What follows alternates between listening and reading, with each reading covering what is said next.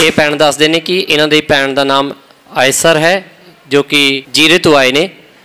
ਇਹ ਦੱਸਦੇ ਨੇ ਕਿ ਇਹਨਾਂ ਦੀ ਭੈਣ ਬਹੁਤ ਜ਼ਿਆਦਾ ਬਿਮਾਰ ਸੀ, ਜਿਨ੍ਹਾਂ ਦੇ ਸਿਰ ਦੇ ਵਿੱਚ ਬ੍ਰੇਨ ਟਿਊਮਰ ਸੀ। ਔਰ ਦੱਸਦੇ ਕਿ ਡਾਕਟਰ ਨੇ ਕਿਹਾ ਕਿ ਇਹਦਾ ਆਪਰੇਸ਼ਨ ਹੋਏਗਾ। ਔਰ ਇਹ ਬਹੁਤ ਜ਼ਿਆਦਾ ਘਬਰਾ ਗਏ।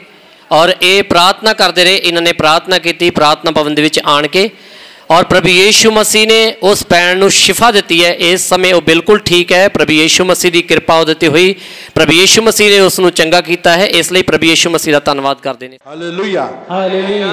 Hallelujah. Hallelujah.